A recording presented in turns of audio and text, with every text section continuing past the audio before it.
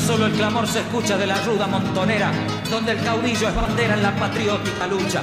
Lágrimas y sangre mucha corrió por montes y llanos, y allá cuentan los paisanos que al son de samba triunfaron, una ocasión que pelearon santiagueños y riojanos. ¡Rivera!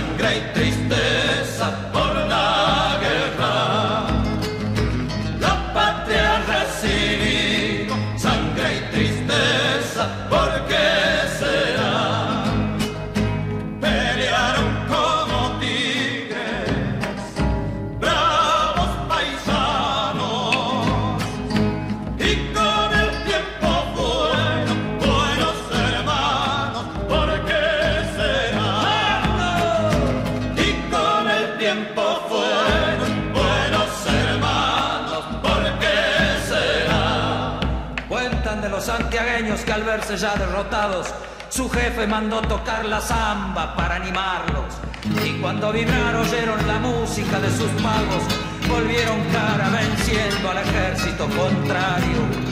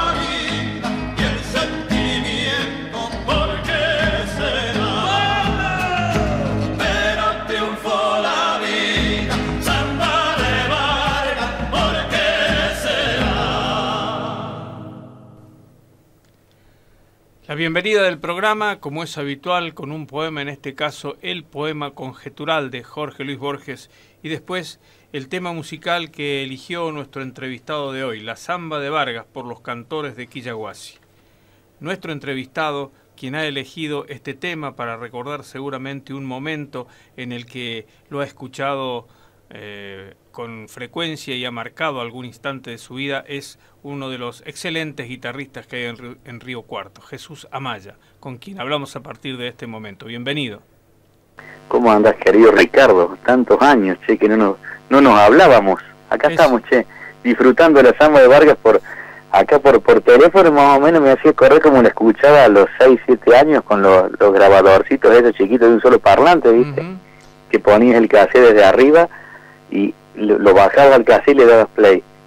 ¿Era en tu casa, Jesús? Y siempre fue en casa y en casa de mi abuela. Ese cassette de los Quillaguasi sí estaba en casa. Ujú. Viste, después encontré que hacen otra versión, porque el Samba de Vargas tiene dos letras. ¿Sí? y hacen la otra letra también grabada. Ayer cuando, cuando buscaba para pasársela a Andrés encontré la otra versión también de los Quilla. Pero lo que me encantaba de los Quilla Guasi, o sea, a- además del arreglo de las guitarras, ¿no? Para, me llamaba la atención calcular los 5 o 6 años eso. Eh, eran lo- los recitados de Oscar Valle, todo, Claro. todos los te- las- la- el recitado que le hacía, el de la calle Angosta, el de la compañera, o sea, todas las zambas, ¿viste? O sea, unos recitados hermosos, di- divinos. Y eso, me- la, la manera de decir que tenía Cacho Valle, ¿no? Me, me, me gustaba. Pero sí, o sea, mi infancia transcurrió siempre en casa, la música, y en casa de mi abuela, con el tocadisco Winco. ¿Aquí Que ahí estaba el disco de Adolfo Verón y el disco de los Fronteris. Ajá. ¿En Río Cuarto, digo? Sí, sí, siempre en Río Cuarto.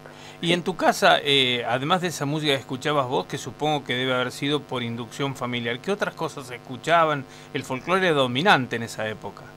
No te creas, ya eh, en- yo te estoy hablando que eh, yo tenía seis años, cinco o seis años en el 80 y algo. Ya el folclore no era tan, tan, ah, no fue, o sea, no- me hubiera gustado vivir la década por ahí del 60, ¿no? Que hubiera sido la gloriosa. Pero en, lo- en el 80, viste que ya ya como que la otra vuelta hablaba con Miguel Cavalini cuando hicimos los 100 videos del tango, porque me hablaba de la década del 40, ¿viste? Y, y, como que el tango fue la década del 40, como que en el 50 que fue una década más de ya de la evolución más de la industria musical yankee, entonces fue mucho más jazz y otra cosa eh, internacional y, en, y, en la, y por ejemplo en los 60 eh, el folclore y en los 70 eh, el auge de arranque del rock eh, yo sé que era, era más el rock nacional y eso la década del 80, ¿viste? Eh, después la, la, retomo yo por suerte, yo me crié como te digo escuchando folclore, folclore y tango de los discos, los discos que estaban en el tocadisco Winco, eh, Radio Río Cuarto, escuchábamos en esa época, ¿viste? yo le comento a un alumno ahora, me dice, ¿cómo que no tenían FM? No, no, había una sola FM que era por cable y después en en los 90, cuando ya teníamos 15, 14, 15 años, ahí recién sí había, empezó a pegar el furor de la, de las FM, claro. pero escuchábamos a M nosotros. Uh -huh. eh, el, el, esa, esa, esa costumbre de escuchar folclore que no correspondía estrictamente al momento en que estabas eh, empezando a reconocer aspectos de la música y de la vida, esa inducción venía por eh, mandato familiar, vos tenés hermanos, ¿qué, ¿qué, se escuchaba en tu casa además de lo que escuchaba vos? No, no, lo que te digo, lo que se escuchaba era folclore, era, era folclore. Eh, en casa había, mi, mi viejo compraba cassette de los Quillahuasi, eh, de los fronterizos, eh, cuando ganamos el Mundial 86 compraron, me regalaron el cassette de, de con todos los goles de Víctor Hugo Morales y las canciones del Mundial, ese también me las sabía de memoria. Se ve que yo, yo tenía ocho años, ¿no? Me, me, me, grababa todo, como te digo, los recitados estos de tan solo el clamor se escucha de la Ruda Montón, y cosas que yo ni entendía lo que querían decir, lo que decía Cacho Valle en la samba de Vargas, ¿viste?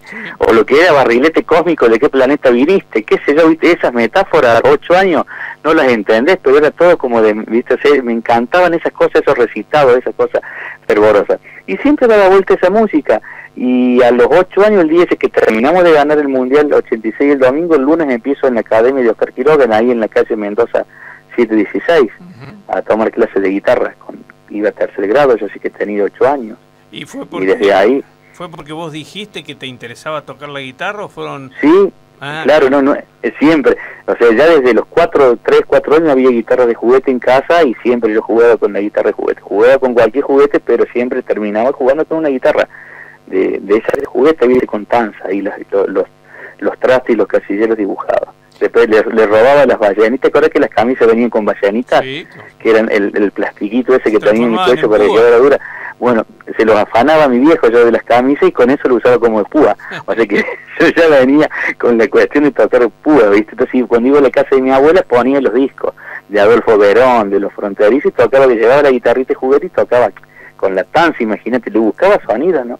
Muchas y después en el 86, pues yo pedí, yo pedí de aprender. Muchas sí, veces la, la influencia... eso, es lo que yo le, perdón, eh, para cerrar justo este idea, lo que yo le, le, siempre le digo por ahí a los padres, viste, que a mí me viven eh, mandando chicos para, para aprender. Y le digo, ¿él, ¿él, quiso o vos lo estás, vos estás diciéndole que arranque a tocar la guitarra? No, no, a veces le digo yo, pero como a mí siempre me encantó a mí tocar la guitarra, ¿y por qué no aprendes vos en vez de él? ¿Vos hablaste bien con él? No, me dice, pero a él le va a gustar pero hablar, charlarlo. O sea, yo, yo podría tener el doble de alumnos, digamos, si, si me dejara llevar por toda la locura de más de un padre, ¿viste?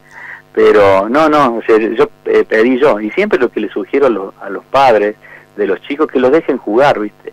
Y si uno de los juguetes llega a ser un instrumento, en buena hora, y si no, será una pelota o será otro instrumento, ¿no? ¿Tenés hermano, Jesús? No, único hijo ah, soy. Compartimos ese, ese placer ah. y también ese, ese límite, ¿no?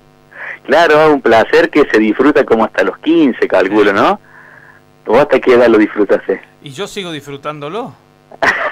sí, pero después, viste, ya se empiezan a poner diferentes las responsabilidades porque ya soy, soy el único.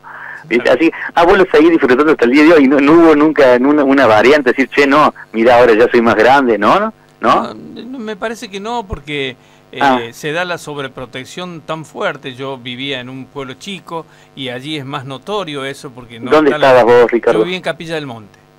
Capilla del Monte, mira qué lindo. De allá venís. De allá vengo, sí. Y, entonces, venís a estudiar comunicación como casi todos. eh, un poco a estudiar, un poco estudiar y un poco a trabajar y eh, Mira. las dos cosas juntas y eh, así se fue armando la historia. Pero el que tiene que contar de, de- de su historia con la música en este caso ¿Sabes lo que pasa? Que estoy tan acostumbrado a hacer las entrevistas por YouTube y todo eso. Ya hace años que, que termino entrevistando yo sin querer. De todas maneras Cierto, está lindo porque uno olvido. charla, ¿no? ¿Eh? Que está lindo porque uno charla, ¿no? No- no- Claro, no es es, tanto que es la idea. claro. Para, yo, yo lo pienso sobre todo, ¿sabes para qué? Para el público y la gente, ¿no? O sea, porque, o sea, si no sabe que uy, yo voy a estar Jesús Amaya, me tengo que fumar una hora a ese que no para de hablar. Entonces más vale matizamos con otras cosas, ¿viste? Yo te entrevisto un rato a vos, charlamos de todo un poco. Eh, Hablabas del Mundial 86, pero el tema, que es el segundo de tu elección, remite Sí. a un Mundial anterior. ¿Cómo fue que esa... eh, perdón, eh, perdón, a un Mundial sí, posterior? sí. claro. Eh, ¿Cómo fue que te llegó eh, tanto eso como para que lo hayas elegido? Y vos sabés que yo pensaba, porque cuando cuando hablamos con Andrés dice cuatro temas, entonces digo cuatro temas que sean cuatro quiebres de momento, entonces yo digo que puede ser uno infancia, uno para el paso de la adolescencia, otro del paso más de la adolescencia a lo que ya fue la vida más laboral, a, lo- a más o menos 18, 20 pensé, y uno actual. Le, lo, lo segmenté así, entonces yo pensé, bueno, de la, de, la adole- de la niñez a la adolescencia. Fue un año, el 90, fue más o menos cuando terminamos, terminamos la primaria. Hace dos semanas atrás nos juntamos con la promoción, eh, había con algunos que hacía 35 años que no nos veíamos. Fue, fue lindo. Y recordamos todo eso y más pusimos todo tema de esa época. Y nos reíamos ahora las porquerías que escuchábamos, ¿no? Y con lo que bailábamos. Jazzy Mel, New Kid on the Blocks, eh, Loco Mía. Te estoy hablando de, de lo- los grupos, ¿no? Desacados. ¿Eh? Y en ese Bueno, pero más o menos las porquerías que escuchaban, ¿viste? Cuando decía, ay, no, pero ustedes los chicos ahora, porque otra cosa siempre son, y los chicos ahora escuchan cada porquería, y yo le pregunto por ahí a mis viejos, ¿y ustedes qué escuchaban? Ah, no, nosotros escuchábamos el Club del Clan, ¿viste? Entonces, bueno, y por eso la porquería del momento. O sea que nadie se salva de la música, no porquería, vamos a, hablar, vamos a decir un poco más serio, la música más comercial, escasa de contenido por ahí, ¿no? Entonces, siempre estuvo, y todos somos como, o sea, está como en el aire, es como que las radios, ¿viste? Están todas simultáneamente. Vos querés, después vos estás en ver cuál sintonizás. Elección, Entonces vos por ahí te sintonizás. Y todos los 12 años teníamos, nos sintonizábamos con esa música, era lo que Azúcar Moreno, eh, Vilma Palma de Vampiro, Claro. te estoy diciendo toda esa onda. O lo que yo venía escuchando que era el folclore Claro. que en el colegio no me entendían. Es más, yo venía tocando folclore también, y el, en el colegio tocaba en los actos y todo, y siempre en cada acto tocaba la guitarra, porque yo también ya, ya, ya hacía 3, 4 años que tocaba. Y, y sí, el, el tema del Mundial de Italia 90 creo que marcó a todo, y vos fíjate que hasta el día de hoy no hay otro tema de Mundial que, que, que sea tan representativo. O sea, ni que te acuerdes de un tema Y eso, actual de otro Mundial, ¿viste? y eso que sufrimos al final. A ver, escuchemos el Sí, tema para ver lo dale. que movilizaba a Jesús cuando pasaba de la niñez a la adolescencia.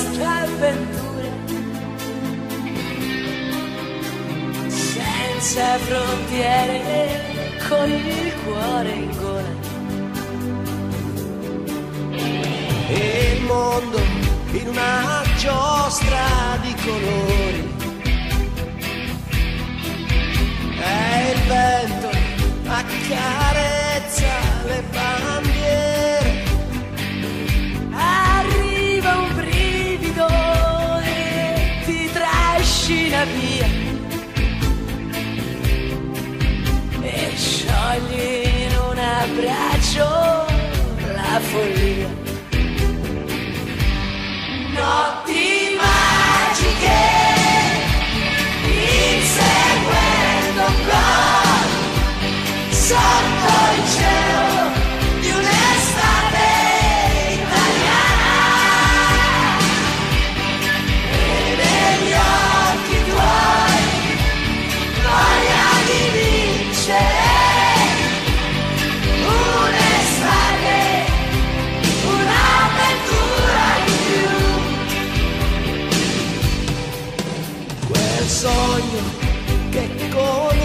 comincia da bambino e che ti porta sempre più lontano. Non è una favola e dagli spogliatoi escono i ragazzi e siamo noi. Notti magiche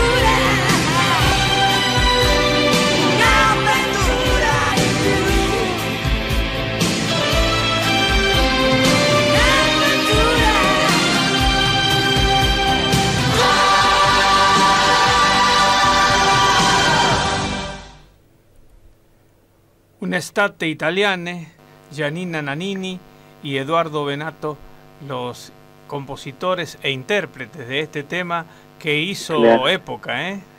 En realidad el compositor que ahí lo descubrí me voló la cabeza y entendí muchas más cosas, Giorgio Moroder. Ah, Giorgio Moroder, sí, exactamente. Tremendo, que bueno, de Flashdance, Expreso de Medianoche, Superman, no sé, la cantidad de cosas que hizo, ¿no? La- o sea, Seúl, las Olimpiadas de, de Seúl, de- el- los Juegos Olímpicos de Los Ángeles lo hizo él, del 84, y Seúl, Seúl fue, no, Seúl fue del 84 creo, 88 Seúl. Bueno, todo, todas las Olimpiadas, tremendo el tipo, Seúl. Claro, Seúl, esa- Los Ángeles, tremendo, esa- Top Gun. Esa combinación de la melodía y la electrónica, ¿no? Que Moroder Claro. ha desarrollado fantásticamente. Y, y después averigüé que había sido, lo había grabado primero con otro grupo, eh, creo que era, no me acuerdo, que eran uno, unos músicos musicazos. Y Benato y, y Giannini, el, esto, esto- estos dos italianos, eran, o sea, del under, o sea, er- eran rockeritos ahí del under, ¿no? Que alguien dijo, no, tienen, tienen que hacerlo con ellos al éxito. Y una Y cosa, ser un éxito. una cosa Sí. rara es que se pe- pegó este éxito tan intenso que de alguna manera escenificaba esa pasión latente de- frente a cada uno de los partidos de- del Mundial, en un tiempo en el que ya había desaparecido la costumbre de escuchar eh, a intérpretes y canciones italianas. Hubo un tiempo, incluso Mm. antes de, de- de tu, de tu niñez, en que se escuchaba mucha música italiana y a- a- desde ese tiempo y hasta ahora prácticamente no se escucha más. Claro, tenés razón. Mira, es- esa es una buena observación interesante, ¿no? Sí, sí, tal cual. Sí. ¿Y qué, hacías cuando escuchabas esas canciones? Eh, me- Y esa, la- esa ya la podía tocar con la guitarra, la sacaba con la guitarra, tenía tres acordes. Es, o sea, es, es visto, o sea, cuando vos querés analizar un éxito, un hit, yo por ahí doy, doy masterclass y charlas, ¿viste? Y casi siempre termino dando los ejemplos de, de, tres, de dos temas seguros, que uno es el de Italia 90 y el otro se matan de risa, pero es el single de Marolio. Ah, es sí. increíble, es increíble musicalmente lo que tiene. Vos podés hacer, digamos, explicar eh, un par de años de armonía y cosas en, en, algo tan tan simple y tan bien, tan concreto como está hecho, ¿te das cuenta? O sea, e, eso es lo, lo, lo, que lo que en realidad después termina teniendo el tema, ¿no? Como fue, te corre el éxito de Despacito, pero duró un, un, un, un, año, no llegó a un año Despacito. Si bien fue récord, te acordás, igual que Macarena del 93 a nivel de ventas y reproducciones, pero eh, no tienen la trascendencia de esto, más allá de que sea un pico de un año. Estos siguen estando, vos escuchás. Y el single de Maroli hace 10 años. 10 años tiene ya. Y la cantamos todo. ¿Tocabas la guitarra ya entonces? Y, sí, del 86, del Mundial 86 al el lunes que siguió, que fue el lunes, creo que fue 31 de junio, ese lunes empecé en la Academia de Oscar. Y eh, lo que te quiero preguntar es eh, si, si ya, eh, además de, de, lo que te impactaba esta música, por lo pegadiza y por lo que significa esto que estás explicando, si ya empezabas a buscar complejidad en, en la interpretación de la guitarra, cosas más difíciles. No, no, no, en ese sentido no, de armonías y eso no, pero sí, o sea, yo tocaba ya, ya tocaba, ya era, ya tocaba rápido de chiquito, digamos, o sea, como que no hubo mucha más evolución, eh, sí hubo, después yo en el secundario dejo la guitarra, la dejo todo el secundario, por ese, por ese motivo de que lo que yo tocaba, lo que había vivenciado en la primaria, eh, toda esta cuestión del folclore y eso, ya cuando entro en el secundario y cambio de colegio, eh, iba al General Paz, que era el colegio mixto, paso al San Buenaventura, todos varones, era, era, era otra, otra cuestión, era otro, otro, otro mundo, y ya casi que ni toco en el secundario la guitarra, muy poco toqué, la llevaba, en segundo año tuvimos música, y llevé la flauta dulce, en el primer cuatrimestre casi no llevo música, tuve que llevar después la guitarra en el segundo cuatrimestre, digamos, para, para zafar y aprobar, y, y fuimos a Saldán, te acordás que en Saldán se sigue haciendo, creo, como un encuentro, como un, un cosquín chiquito, de colegios y de, y, de competencia así entre colegios que está re bueno, ¿viste?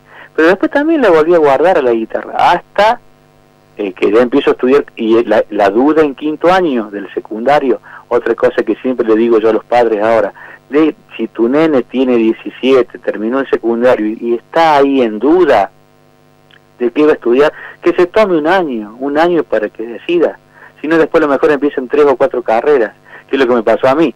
Yo amaba comunicación, de hecho, me reencanta, me encanta la comunicación, me encantan los medios, por suerte ahora puedo combinar todo a través de YouTube, pero hasta hace 10 años atrás te pude hacer radio, un programa de rock, hice dos años, pero me encantaba el tema ese de la radio y los medios y, y lo que es escribir, lo que es todo, ¿viste? Eh, entonces tuve ese desconexión, lo tuve en el secundario. ¿Y por qué sucedió eso? no sé, y, porque no, no me habrán preguntado a qué colegio querías ir, ¿viste? Y dice, bueno, en, en, vamos a Buenaventura, que bueno, sí, lindo el colegio, pero orientación de perito mercantil, ¿viste? Colegio de curas, no era mixto todavía, éramos todos varones en esos años.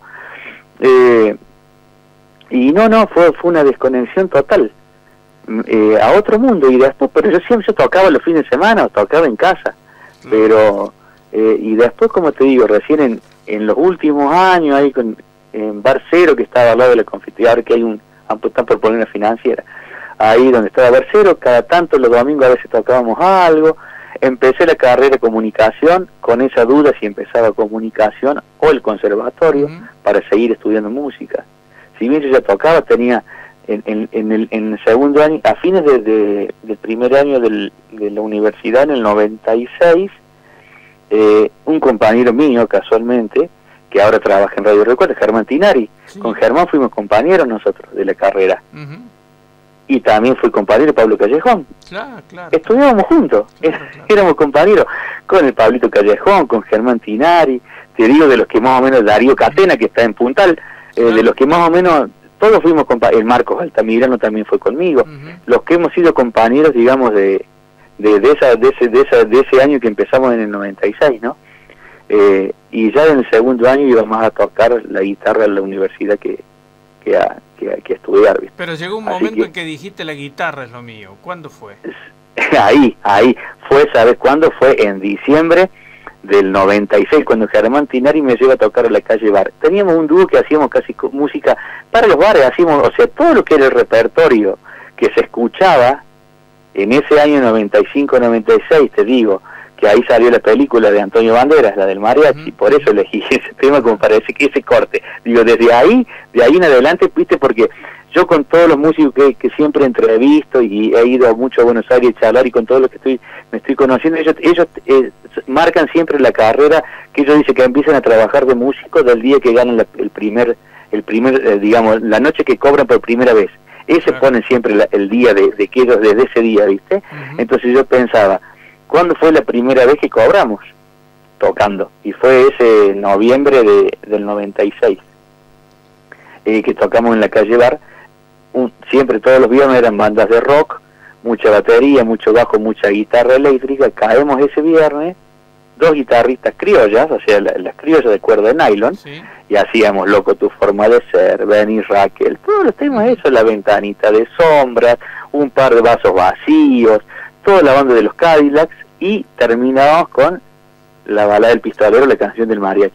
¿Qué Y, escuchamos y ahora? fue, viste, que escuchamos Fue un- ahora para ver cómo ¿Eh? eh, vamos a escucharla ahora si te parece para ver eh, Dale. para tratar de imaginar ese ese momento de quiebre y de definición de Jesús dale.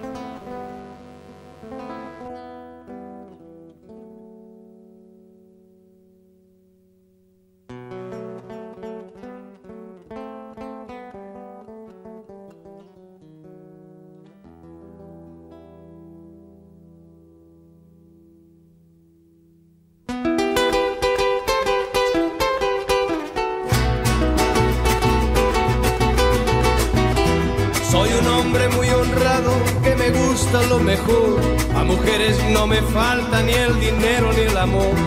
Jineteando en mi caballo por la sierra yo me voy. Las estrellas y la luna ellas me dicen dónde voy. Ay, ay, ay, ay, ay, ay, mi amor. Ay, mi morena de mi corazón.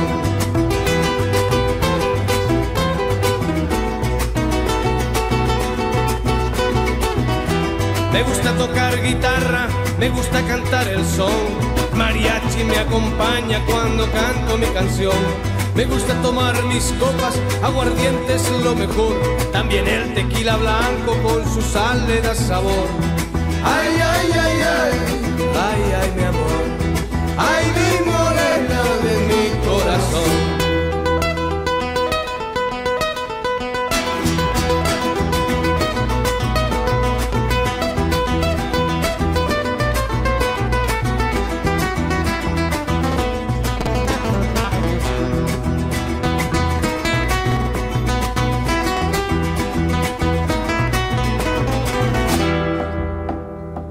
Tocar guitarra, me gusta cantar el son. El mariachi me acompaña cuando canto mi canción. Me gusta tomar mis copas, aguardiente es lo mejor. También el tequila blanco con su sal le da sabor. Ay, ay, ay, ay, ay, ay, mi amor. Ay, mi morena de mi corazón.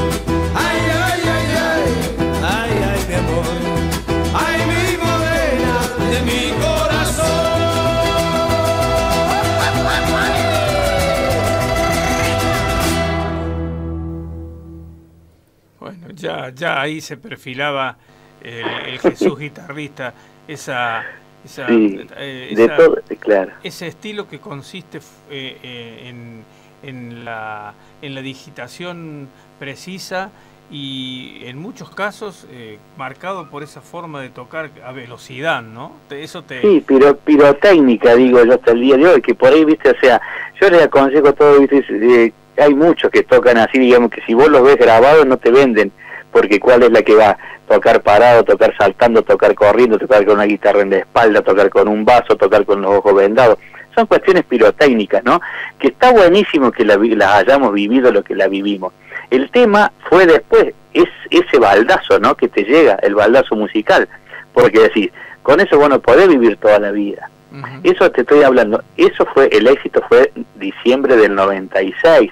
Tuvimos todo el 97, arrancamos el 97 tocando por todos lados, todos los bares, la zona, eh, todas las semanas con el así hasta abril, mayo. En mayo me, me llaman para tocar en, en la universidad, yo ya, ya estaba en segundo de comunicación, y para tocar en el anfiteatro. Entonces en el anfiteatro llevé parte de eso y parte del folclore y ya había empezado a tocar yo con un compañero de, el, el hermano de un compañero de, de, la carrera. Y ahí volví a empezar a tocar otra vez todo lo que era el repertorio que hacía con Oscar Quiroga cuando era chico, los tangos, la comparsita, el choclo, los mates salvadores, todo, pero todo el repertorio es instrumental tal cual de los indios tacunados.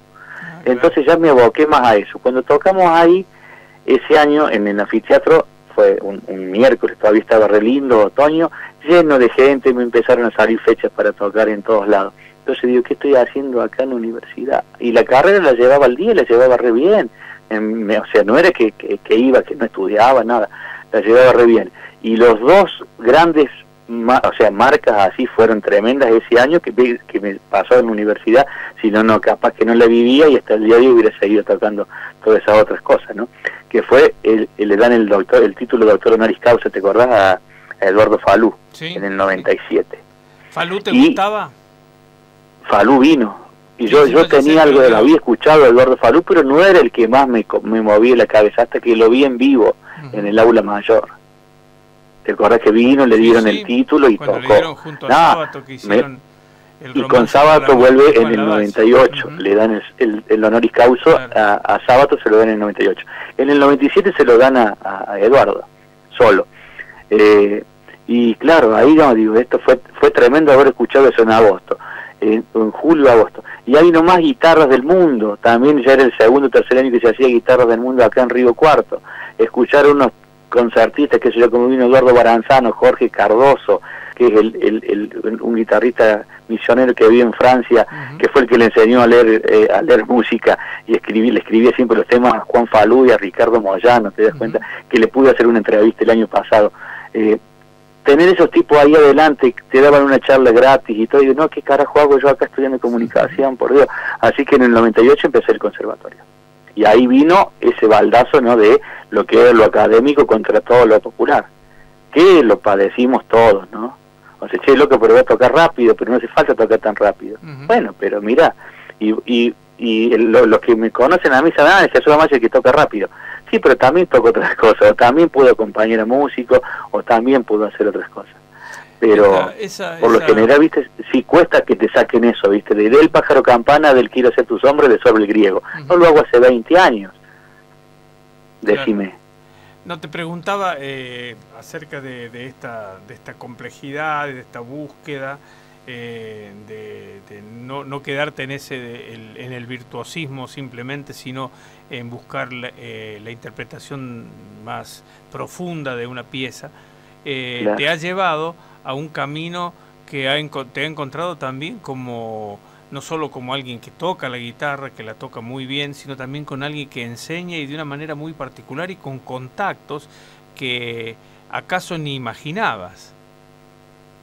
Tal cual, es, es, eso bueno, se fue dando por esa cuestión. Otra cosa que, que me marcó también bastante fue eh, cuando me, invita Didi Mozárate y, y, Adriana Fernández a ser parte de Amigos por la Música. Uh en el 2000, 2003, cuando arrancamos con Nito Mestre la cantidad de artistas que trajimos todos los meses, la cantidad de cosas que vos aprendés cuando te pasan un rider de sonido, conseguir acá después, bueno, acá para conseguir los equipos de acá, charlar con ellos. Te estoy hablando de 2003 cuando eran solamente mails lo único y, no había todavía ni siquiera SMS que se mandaban, ¿te acordás? Eh, organizar, yo estuve hasta el 2011 con ellos de manera constante, después seguí estando, pero no tanto. Eh, es increíble lo que aprendes también con ellos, los contactos que vas teniendo, qué sé yo, hacerte amigo de algunos músicos que ni lo, te lo imaginás. Después a través de mi canal de YouTube que vino. ¿Sabes cuáles son los dos primeros videos que están subidos a mi canal, Ricardo? No, no. No me va a querer creer. Los dos primeros videos del año 2006, de julio del 2006. Los de Banca al Arte, adentro de Banca al Arte, donde vos nos. Ajá, mira. Porque mi primo eh, grababa en esa época, 2006, sacaba, no sé, no me acuerdo cómo hacía, levantaba internet desde la computadora, capturaba el video desde el canal, que no sé cómo levantaba el canal, estamos hablando de 15 años atrás esto, ¿no? Que ahora, eh, ahora es normal, pero en esa época no, no salía el canal, eh, no me salía en vivo, Banca del Arte creo, pero no salía, no me acuerdo que, no sé, levantarlo por internet imposible, y menos que, el video, que hubiera videos en internet.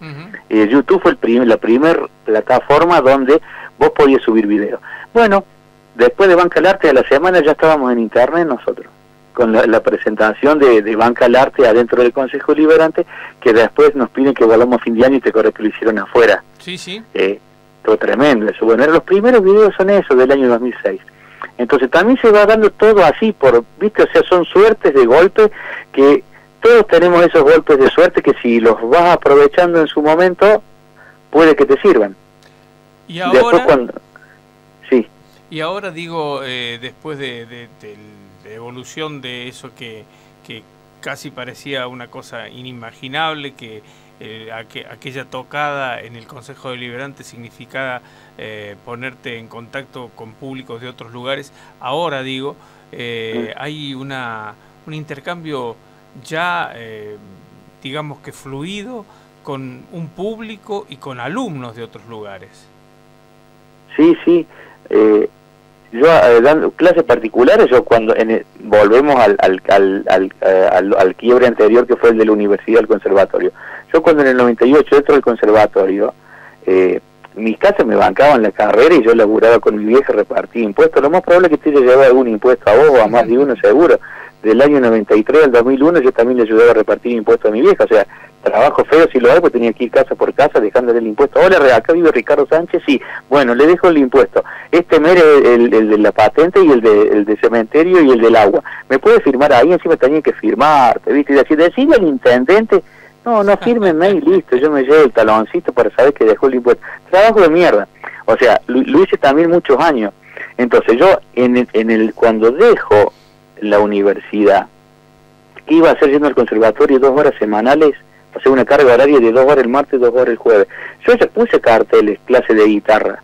Es más, en el conservatorio siempre me condenaron por eso, por ser un alumno de, de ingresos que ya daba clases particulares. O sea, esas boludeces, viste, que bueno, eh, las padeces, pero hasta el día de hoy siguen pasando. Pero bueno, eh, en el 98 mismo yo ya dije, yo puse carteles, yo vengo dando clases particulares del año 98, Ujú, o sea que ya llevo 23 años dando clases particulares. Y hace 5 o 6 años clases online. O sea que la pandemia, cuando, cuando agarró toda esta cuestión del online, yo ya venía con el 50% de alumnos online y el 50% de alumnos presenciales casi. De hecho, lo- los tutoriales míos en YouTube lo ven en todo el mundo, por eso tengo alumnos de España, eh, de Canadá, de, qué sé yo, de México, de la Irina de Ucrania, que aprendió a cantar y a, bailar folclore en Ucrania, siendo ucraniana, ¿no? Y hablando, eh, aprendiendo a hablar español, cosas que no, gente en España, gente de 70, de 80 años que aprenden a tocar tango y folclore, ¿viste? O sea, que me contactan. Eso O debe sea, ser es, es loco, es pero- loco, y pero es así, o sea, vamos, ya, ya, ya vamos encaminado a algo que está recontra globalizado. Digo que debe Entonces- ser emocionante para vos eso, cuando se dan esas circunstancias, ese aprendizaje a la distancia que genera algo tan profundo con nuestra música.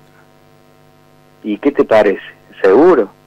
Segu- Y así mismo, y vos fíjate más allá de la distancia, cuando hice la juntada que me mandé, una gira que iba a ser de una semana en Buenos Aires, iba a ser el fin de semana solo de octubre, fin de largo, de juntarnos con un par de alumnos online.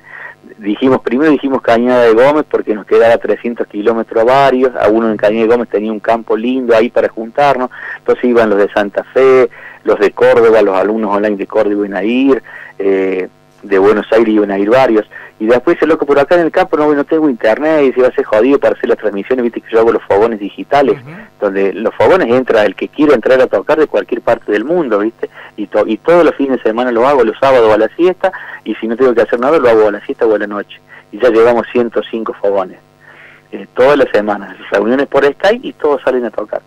Entonces, hicimos esa juntada y le íbamos a hacer, como te digo, el fin de largo de octubre, en de Gómez. Por lo que si vamos a estar complicado con internet, bueno, dice otro loco, pero hagámoslo acá en Ingenieros Magwich, en Buenos Aires, listo. Cuando hablamos en Ingenieros Magwich, yo ya le hablé a la gente de las guitarras, y yo represento, porque todo eso, lo otro, el, el- el- el tema de representar marcas y endorse, me salió a través también de, de, de, de esto de los videos de YouTube y eso, ¿no?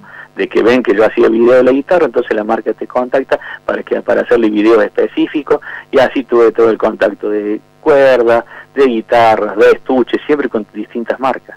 Entonces cuando fui a Buenos Aires, fui a visitarlos a cada uno, entonces con cada uno hicimos transmisiones en vivo eh, o videos para subir después, recitales, juntadas, estuve 15, 15 días que se me fueron a tres semanas en octubre. Así que tuve casi todo octubre en Buenos Aires.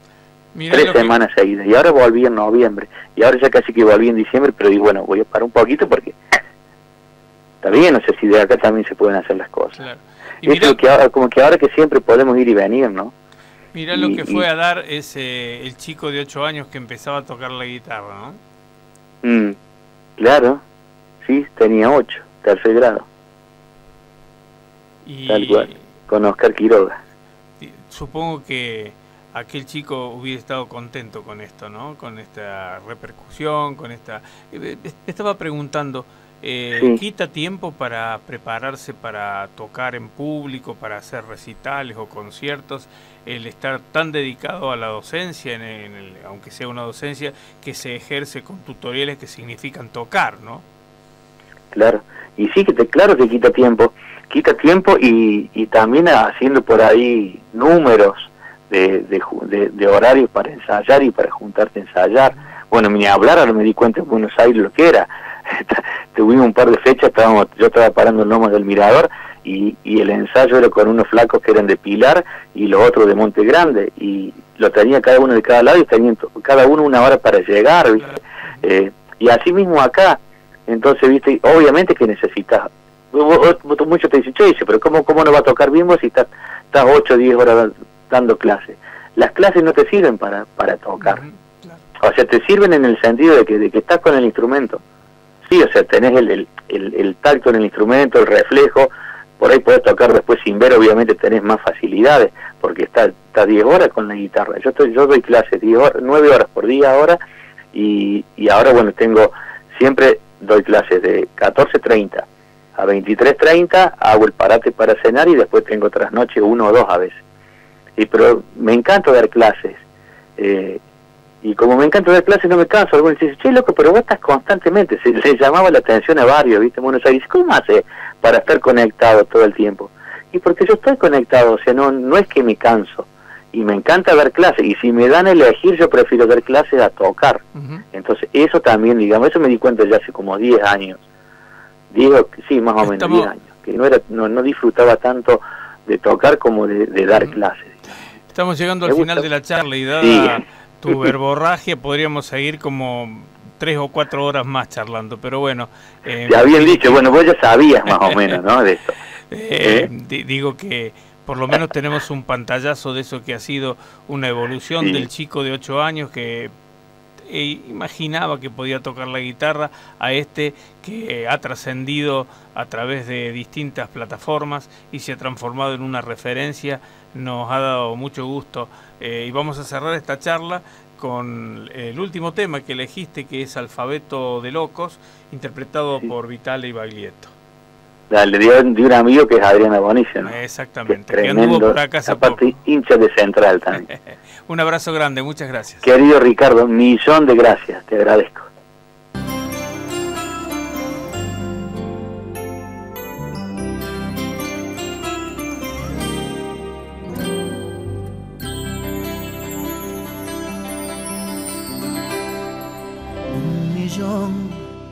De casas mudas y un farol que apaga las del sol y el rencor de aquella luna que se va por el espejo del retrovisor y no saber si uno ha de volver a ese lugar que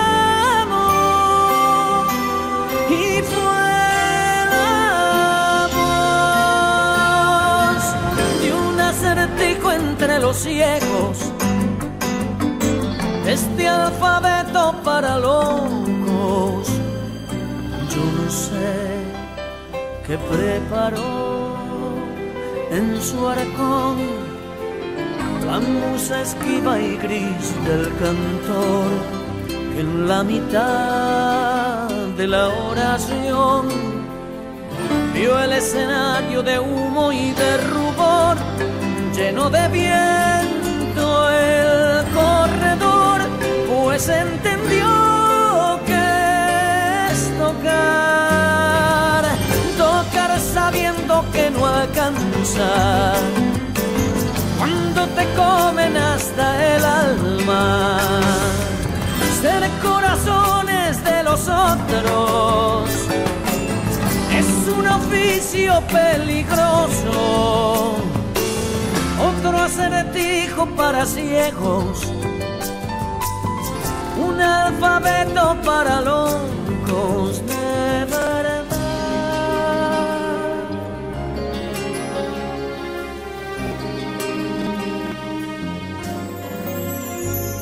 Sé que tengo que dormir en las copas del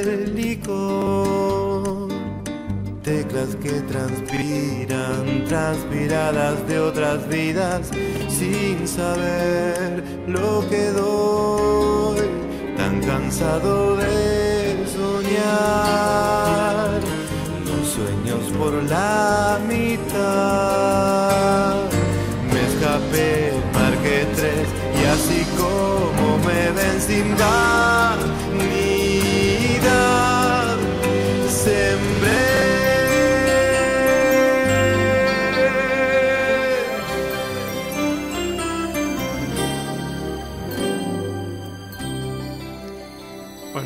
resquicio que nos dejó la charla con Jesús Amaya, tenemos el placer de recibir la música de Andrés Natali. Bueno, buenas noches y un gran saludo para el querido Jesús, amante de los medios, amante de la guitarra, amante de la música.